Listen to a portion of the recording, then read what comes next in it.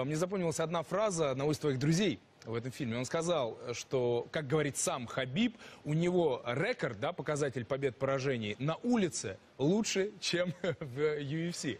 А когда последний раз приходилось что-то доказывать на улице?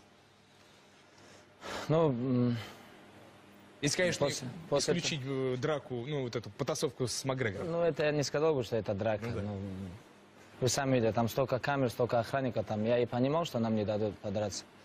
Но это ерунда, были более серьезные драки. Ну, бывало, что отец меня наказывал, э, бил даже, чтобы я не дрался на улице. Почему? Потому что я уже когда начал серьезные результаты показывать по любителям, уже ты, можно сказать, почти профессионал, ты можешь человека покалечить на самом деле. И, ну, на тот момент я это не догонял, не понимал.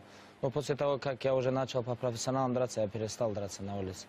Ну, в Америке было у меня так, что А кто-то хочет наоборот. Эй, чемпион, подойди-ка, покажи, да, насколько Ну, ты силен. Вот с ну, таким В, посылом. в Америке было у меня, когда стоял в очереди на кассе, там э, пьяный мужик приставал и докапывался перед тем, кто стояли впереди, но и я в том числе стоял впереди.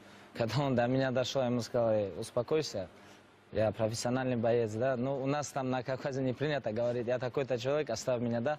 Но в Америке я обязан это говорить. Почему? Потому что если бы я там подрался бы, я, мне пришлось бы перед законом ответить, могли меня посадить. Я его предупредил, он такой резко так отрезвел. Я ему говорю, я профессиональный боец, я могу тебе лицо сломать. Ты должен успокоиться.